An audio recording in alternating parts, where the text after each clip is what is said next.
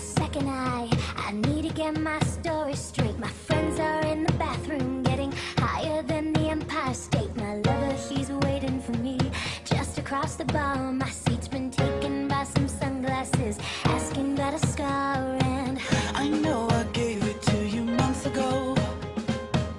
I know you're trying to forget. But between the drinks and subtle things are holes in my apology.